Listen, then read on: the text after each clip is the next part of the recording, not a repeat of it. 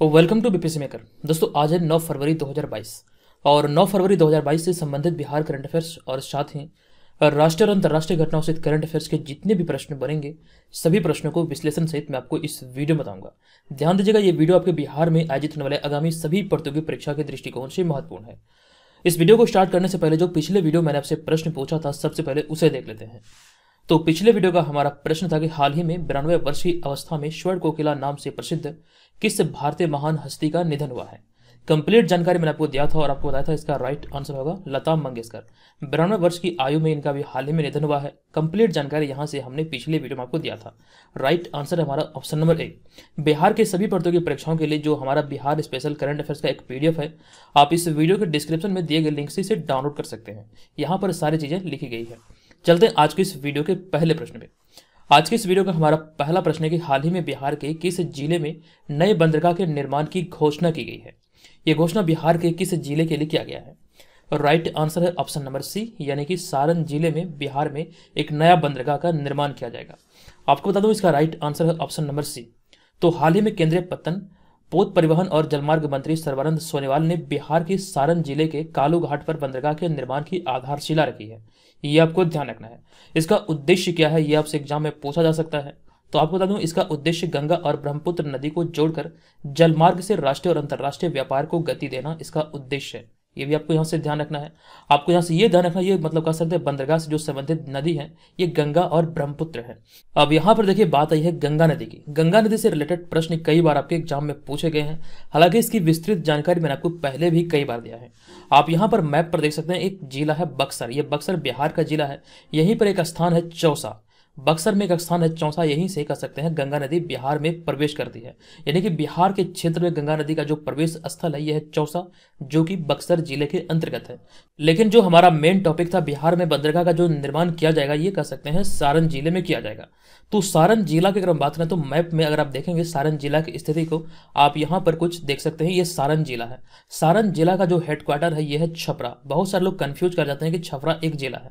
बल्कि छपरा एक जिला नहीं, बल्कि सारण एक जिला है। छपरा जो है, ये कह सकते हैं सारण जिला का हेडक्वार्टर है। और सारण जो है, बिहार में एक परमंडल भी है। इसकी जानकारी मैंने आपको दिया है कि बिहार में नौ परमंडल है। आप यहाँ पर कंप्लीट चीज़ों को देख सकते हैं। बिहार में नौ परमंडल है और उनमें से सारण भी एक परमंडल है। और सारण परमंडल का जो कह सकते हैं हेडक्वार्टर यानी कि मुख्यालय, ये सारण ही है। और सारण प्रमंडल के अंतर्गत तीन ज़िले ये हैं सारण, सिवान और गोपालगंज। ये तीनों को आप यहाँ पर इस इमेज में देख सकते हैं। ये तो हमारा हो गया सारण ये हो गया सिवान, और आपका यहाँ पर अगर बात करें, ये है गोपालगंज। ये तीन ज़िले कह सकते हैं सारण प्रमंडल के अंतर्गत आता है। ये जानकारी यहाँ से ध्यान रखिए। अब यहाँ पर बात आती है बिहार का सबसे छोटा प्रमंडल कौन सा है? कई बार यहाँ से आपके प्रश्न एग्ज़ाम में बने हैं। तो बिहार का जो सबसे छोटा प्रमंडल है यह है भागलपुर प्रमंडल। आप यहाँ पर भागलपुर को देख सकते हैं। भागलपुर प्रमंडल के अंतर्गत केवल दो ज़िले हैं, भागलपुर और बांका। तो मतलब इतना सा क्षेत्र जो है, ये कह सकते हैं, भागलपुर प्रमंडल के अंतर्गत आता है। ये भी जानकारी यहाँ से ध्यान रखिए। तमाम यहाँ पर जिलों और प्रमंडल की सूची को हमने ऐड किया है, आप चाहें तो इसका स्क्रीन भी ले सकते हैं। चलते हैं दूसरे प्रश्न पे। ये दूसरा प्रश्न है कि हाल ही में बार काउंसिल ऑफ़ इंडिया ने कि बीसीआई का अध्यक्ष किसे निर्वाचित किया गया है? इंपॉर्टेंट प्रश्न है और इसका राइट आंसर है ऑप्शन नंबर ए यानी कि मदन कुमार इसका सही उत्तर होगा मदन कुमार मिश्रा। अब यहाँ पर इस प्रश्न में कुछ ऐसे चीज़ें छुपी हुई है जो कि आपके एग्ज़ाम में पूछे जाने की संभावना को बढ़ाता है। आपको बता दूँ कि हाल ही में Madan Kumar Mishra bar council of India के लगातार छठी बार अध्यक्ष निर्वाचित हुए हैं। साथ ही साथ आपको यह भी ध्यान रखना लगातार छठी बार निर्वाचित होने वाले वह पहले व्यक्ति है। तो ऐसे में यह प्रश्न इंपॉर्टेंट हो जाता है कि बार काउंसिल ऑफ़ इंडिया के, कह सकते हैं, जो अभी हाल ही में अध्यक्ष निर्वाचित हुए हैं, ये है मदन कुमार मिश्रा और ये, कह सकते हैं, लगातार छठी बार निर्वाचित हुए हैं। और इस पद पर लगातार छह बार रहने वाले ये पहले व्यक्ति बने हैं। ये भी आपको ध्यान रखना है। हमने यहाँ पर आगे लिखा कि मदन मिश्रा बिहार बार काउंसिल के निर्वाचित सदस्य हैं और बार काउंसिल ऑफ़ इंडिया में बिहार का प्रतिनिधित्व करते हैं। आप यहाँ पर इनको इस इमेज में भी देख सकते हैं। अगला होगा हमारा यहाँ पर तीसरा प्रश्न। ये प्रश्न है कि हाल ही में किस देश के प्रधानमंत्री ने अपने पद से इस्तीफा दिया है? हाल ही में किस देश के प्रधानमंत्री ने अपने पद से इस्तीफा दिया? इस प्रश्न का राइट आंसर है ऑप्शन नंबर बी, यानी कि पेरू। आपको बता दूँ कि हाल ही में पेरू के राष्ट्रपति पेड्रो कैस्टिलो द्वारा कैबिनेट के फिर से पुनर्गठन की घोषणा किए जाने के एक दिन बाद देश के नए प्रधानमंत्री हेक्टर वेलर ने इस्तीफा दे दिया। दरअसल यहाँ पे मामला क्या है, यहाँ पर आगे लिखा गया है। तो पेरू के प्रधानमंत्री को घरेलू हिंसा के मामले में आरोप के बाद वहाँ के राष्ट्रपति पेड्रो कैस्टिलो द्वारा तीन दिन में ही प्रधानमंत्री पद से बर्खास्त कर दिया गया। ये ध्यान है कि घरेलू हिंसा के मामले में कह सकते यहाँ पर दोषी करार देते हुए फिर इस मामले का आरोप लगाते हुए वहाँ के जो राष्ट्रपति हैं, पेड्रो कैस्ट्रो द्वारा तीन दिन में ही प्रधानमंत्री पद से बर्खास्त कर दिया गया। तो इसी को लेकर यहाँ पर यह प्रश्न बना है, इसे आपको ध्यान रखना है। अब यहाँ पर देखिए, हम लोग चर्चा कर रहे हैं इस प्रश्न में पेरू की। तो पेरू की बात करें तो पेरू की राजधानी है लीमा, और हाल ही में लीमा में दुनिया की सबसे पुरानी मम्मी की खोज की गई थी। मम्मी आखिर होता क्या? कई सारे लोग इसका अर्थ अच्छी तरह समझ रहे होंगे। अब यहाँ पर वैसे लोगों को मैं बता दूँ जो इसका अर्थ नहीं समझ रहे हैं। मम्मी एक ऐसा कर सकते हैं सबको कहा जाता है, जिसे संरक्षित रखा जाता है। इस सबको या फिर कह सकते हैं मरे हुए सबको अगर हम किसी रसायन या फिर कह सकते हैं किसी केमिकल की के सहायता से बहुत दिनों तक रखते हैं, मम्मी कहा जाता है। आई होप कि आप यहाँ पर इसको शॉर्ट में समझ चुके हैं कि मम्मी आखिर होता क्या है। चलिए, अब यहाँ पर हम चलेंगे अगले चौथे प्रश्न पे। लेकिन उससे पहले बता दूँगा आप लोग अगर बिहार में आयोजित होने वाले बीपीएससी और सीडीपीओ जैसे एग्ज़ाम की तैयारी में लगे हैं तो हमारे ऑनलाइन टेस्ट सीरीज़ को ज़रूर ज्वाइन करें। इससे आपको फ़ायदा ये होगा कि आगामी जो भी परीक्षाएँ 2022 में आयोजित होने वाले खास करके बीपीएससी और सीडीपीओ तो ऐसे एग्ज़ाम के लिए आप सही समय पर सही तरीके से आकलन कर पाएँगे कि आपकी आगामी एग्ज़ाम को देखते हुए तैयारी किस स्तर की है। तो बीपीएससी में अगर ऐप पर ऑनलाइन टेस्ट सीरीज़ में ज्वाइन करके इसका कर सकते हैं, सही तरीके से आकलन आप कर सकते हैं। इस टेस्ट सीरीज़ से रिलेटेड तमाम इन्फॉर्मेशन आपको इस वीडियो के अंत में मिलेगा। वीडियो के साथ बने रहें। चलते हैं अगले प्रश्न पे। हमारा अगला प्रश्न है कि हाल ही में बीजिंग शीतकालीन ओलंपिक 2022 की शुरुआत कब से हुई है? इस प्रश्न का हमारा राइट आंसर है ऑप्शन नंबर ए यानी कि 4 फरवरी 2022 से ये कह सकते हैं शीतकालीन ओलंपिक की शुरुआत हुई है। राइट आंसर है ऑप्शन नंबर ए आपको बता दूँ कि शीतकालीन ओलंपिक की शुरुआत 4 फरवरी 2022 को बीजिंग में हुई, जो कि 20 फरवरी 2022 तक चलेगी। यहाँ पर हमने आगे लिखा कि नॉर्वे की थेरेसी जोहांग शीतकालीन ओलंपिक 2022 में पहला गोल्ड मेडल हासिल करने वाली पहले खिलाड़ी बन गई है, ये ध्यान रखिए। शीतकालीन ओलंपिक की अगर बात करें तो इसकी शुरुआत जो हुई थी, ये शीतकालीन ओलंपिक खेल की वर्ष 1924 में किया गया था। और वर्ष 1924 की यहाँ पे चर्चा हुई तो 1924 का इतिहास से संबंधित एक चीज़ याद रखिए कि भारत में अगर हम बात करें तो रेल बजट को आम बजट से कब अलग किया गया था, आपको ये ध्यान रखना है। 1924 में ही रेल बजट को आम बजट से अलग कर दिया गया था। अब यहाँ पर हमारा अगला पॉइंट है कि प्रेस स्वतंत्रता सूचकांक। तो प्रेस स्वतंत्रता सूचकांक में नॉर्वे शीर्ष स्थान पर रहा। हाल ही का जो रिपोर्ट है या फिर हाल ही का जो सूचकांक है, इस आधार पर नॉर्वे शीर्ष स्थान पर रहा है। अब यहाँ पर देखिए हम लोग चर्चा कर रहे हैं शीतकालीन ओलंपिक 2022 की, जो कि बीजिंग में 4 फरवरी 2022 को इसकी शुरुआत हुई, जो कि 20 फरवरी 2022 तक चलेगी।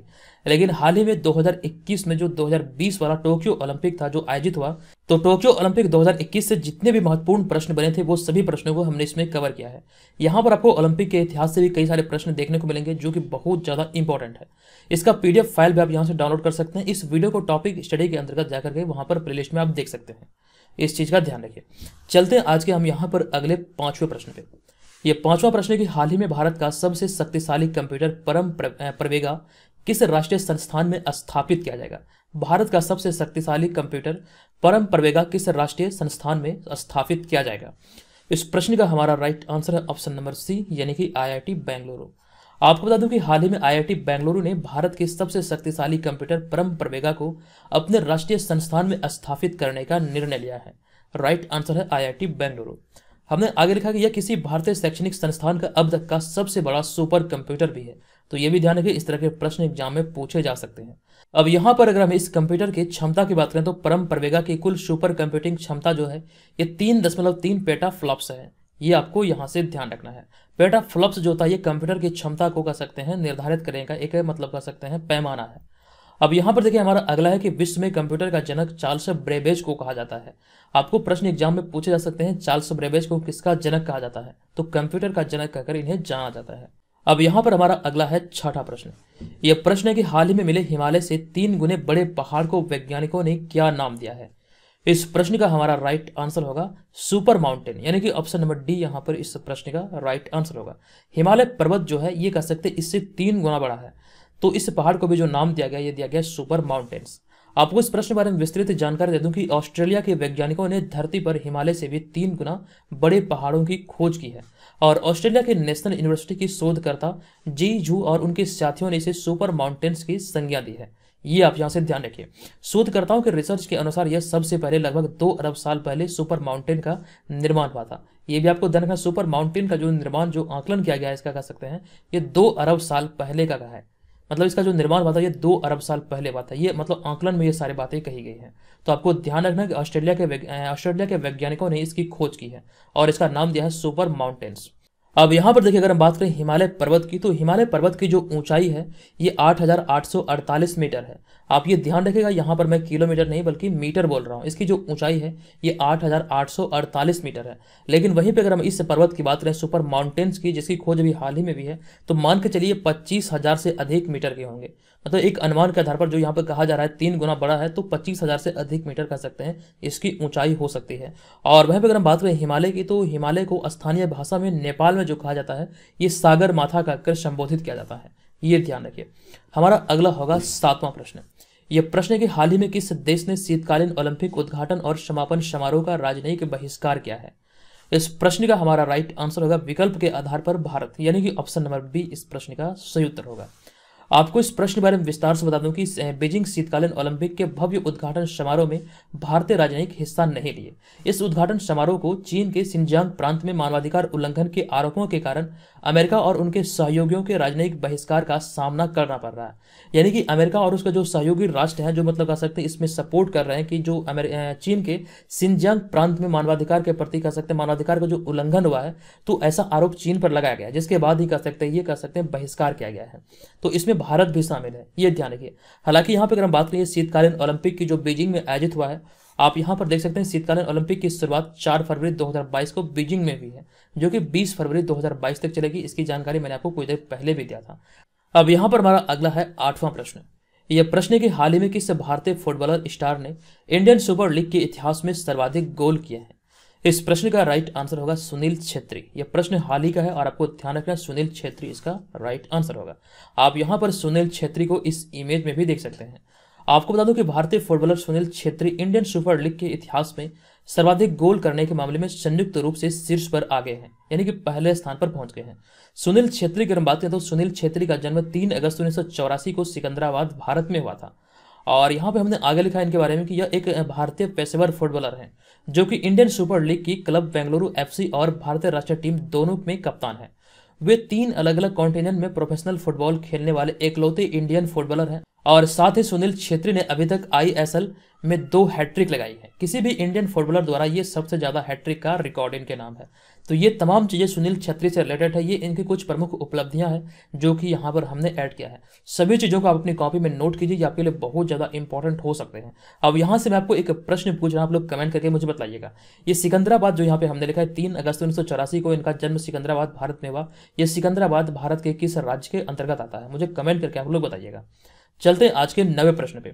हमारा नवा प्रश्न है कि हाल ही में किस सोशल मीडिया प्लेटफॉर्म ने वैश्विक स्तर पर take a break feature launch किया है? इस प्रश्न का हमारा राइट आंसर होगा इंस्टाग्राम। यानी कि ऑप्शन नंबर ए, इस प्रश्न का सही उत्तर होगा। टेक अ ब्रेक फीचर जो लॉन्च हुआ, ये इंस्टाग्राम के द्वारा भी हाल ही में लॉन्च किया गया। आपको बता दूँ कि सोशल मीडिया प्लेटफॉर्म्स इंस्टाग्राम द्वारा एक नया feature take of break launch किया गया है। इस फीचर के आने के बाद अब इंस्टाग्राम यूज़र एक निश्चित समय बिताने के बाद कुछ समय के लिए प्लेटफॉर्म यानी कि इंस्टाग्राम से ब्रेक ले सकते हैं। इस नए फीचर में तीन टाइम स्लॉट को शामिल किया गया है। इसमें 10 मिनट 20 मिनट और 30 मिनट शामिल है जिसे कि इंस्टाग्राम के सेटिंग में जाकर खुद को सेट किया जा सकता है। यानी कि कहने का तात्पर्य यहाँ पर यह है कि बहुत देर तक अगर आप इंस्टाग्राम यूज़ करते हैं तो इस मतलब टेक अ ब्रेक फीचर का इस्तेमाल करते हैं वहाँ पर टाइम स्लॉट फिक्स करके मतलब ये समय आप निर्धारित कर पाएँगे कितना समय आपको मतलब यहाँ पर बिताना है। इसके बाद आपको रिमाइंडर मिलेगा कि आपने इतना समय आप इस पर बिता चुके हैं। तो इसी को लेकर अभी हाल ही में take a break feature launch किया गया है सोशल मीडिया कंपनी इंस्टाग्राम के द्वारा। हमारा अगला होगा दसवां प्रश्न। यह प्रश्न कि हाल ही में भारतीय ओपनर के राहुल टी की बल्लेबाजी रैंकिंग में कौन से स्थान पर पहुँच गए हैं? तो टी ट्वेंटी रैंकिंग में वर्तमान समय के अनुसार अगर हम देखें तो बल्लेबाजी रैंकिंग में केएल राहुल की जो रैंकिंग है, ये चौथा है। यानी कि ऑप्शन नंबर डी यहाँ पर इस प्रश्न का राइट आंसर होगा। डिटेल चीज़ें हमने साइड में लिखा कि टी ट्वेंटी की बल्लेबाजी रैंकिंग में पहले स्थान पर पाकिस्तान के बाबर आज़म है। बाबर आज़म को यहाँ पर आप इस इमेज में भी देख सकते हैं। तथा दूसरे स्थान पर पाकिस्तान के ही सलामी बल्लेबाज मोहम्मद रिजवान है, जबकि तीसरे स्थान पर साउथ अफ्रीका के एडन मार्क्रम है और भारतीय ओपनर के राहुल इस रैंकिंग में चौथे स्थान पर है। यानी कि टॉप थ्री में कोई भी भारतीय शामिल नहीं है। टॉप थ्री में प्रथम दो जो है, ये पाकिस्तान के और तीसरा जो है साउथ अफ्रीका, यानी कि दक्षिण अफ्रीका आगे हैं। भारत की जो मतलब अगर भारत के दृष्टिकोण से इसे देखें तो के राहुल के रूप में भारत इस मतलब लिस्ट में चौथे स्थान पर है। ये चीज़ें यहाँ से आपको ध्यान रखना है। अंडर 19 से संबंधित अभी जो वर्ल्ड कप हुआ था, इससे संबंधित हमने एक वीडियो चैनल पर अपलोड किया है। आप इस वीडियो को जाकर देख सकते हैं। यहाँ से अंडर 19 के इतिहास की हमने चर्चा की है। उन्नीस सौ अट्ठासी से 2022 तक का सफ़र भारत के दृष्टिकोण से कैसे रहा, तमाम चीज़ों का विश्लेषण आपको इस वीडियो में मिल जाएगा। आप प्ले लिस्ट पर जाकर के टॉपिक स्टडी के अंतर्गत इस वीडियो को देख सकते हैं। और एक यहाँ पर यह ध्यान रखिए अगर आपको लगे कि इस सीरीज़ से आपकी हेल्प हो रही है तो प्लीज़ आप लोग वीडियो को लाइक ज़रूर कीजिए और चैनल को सब्सक्राइब करके हमें सपोर्ट भी ज़रूर कीजिए। चलते आज के ग्यारहवें प्रश्न पे। हमारा ग्यारहवा प्रश्न है कि हाल ही में जस्टिन लेंगर ने किस देश की क्रिकेट टीम के मुख्य कोच से इस्तीफा दिया है?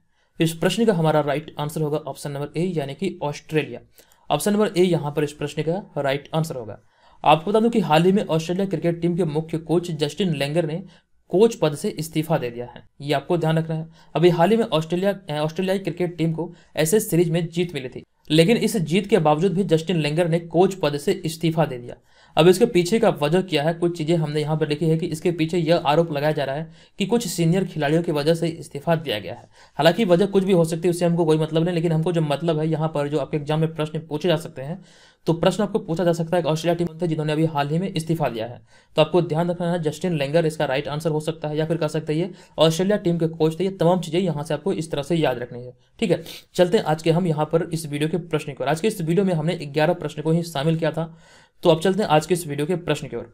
आज के इस वीडियो का हमारा प्रश्न है कि पासपोर्ट कार्यालय के मुताबिक वर्ष 2000 से 2021 में बिहार में कितने ज़्यादा लोगों का पासपोर्ट बनाया गया है? यहाँ पर 2000 ईस्वी से 2021 का तुलना किया जा रहा है कि 2000 से लेकर के 2021 तक में जो फासला यानी कि जो वृद्धि हुई है, कितने अधिक लोगों का पासपोर्ट जारी किया गया है? कंप्लीट जानकारी मैंने आपको दिया है और आप बताइए इसका राइट आंसर क्या होगा? आप यहाँ पर इसको कमेंट बॉक्स में डिटेल में भी लिख सकते हैं। और जो लोग ऑनलाइन टेस्ट सीरीज़ में भाग लेना चाहते हैं बीपीएससी मेकर ऐप के थ्रू भाग ले सकते हैं। और यहाँ पर बीपीएससी मेकर ऐप पर जो ऑनलाइन टेस्ट सीरीज़ आपको मिलेगा, इसके अलावा जो हमारे मटेरियल है, जिसमें कि आपको बिहार, राष्ट्रीय, अंतर्राष्ट्रीय सारे करंट अफेयर्स डेली बेसिस पे प्रोवाइड किए जाएँगे। इसका आपको मंथली नोट्स भी मिलेगा और साथ साथ ईयरली नोट्स भी मिलेगा।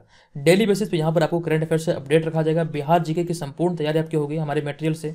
और इसके अलावा और भी कई सारे नोट्स हैं टॉपिक बेस्ड नोट्स हैं, वो तमाम चीज़ें यहाँ पर आपको बीपीएससी मेकर ऐप पर मिल जाएगा। इससे आपकी तैयारी बहुत अच्छी तरह से होगी। आप चाहें तो इसको ज्वाइन कर सकते हैं। तो दोस्तों, आज के इस वीडियो में इतना ही। मिलेंगे नेक्स्ट वीडियो में, तब तक के लिए धन्यवाद। जय हिंद।